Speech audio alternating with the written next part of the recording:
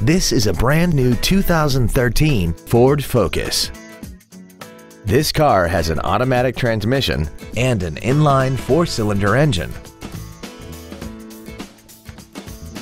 Its top features include a multi-link rear suspension, traction control and stability control systems, aluminum wheels, and a tire pressure monitoring system. The following features are also included. Cruise control, full power accessories, a rear window defroster, a six-speaker audio system, side curtain airbags, a CD player, a rear spoiler, dusk sensing headlights, a four-wheel independent suspension, and air conditioning. We invite you to contact us today to learn more about this vehicle.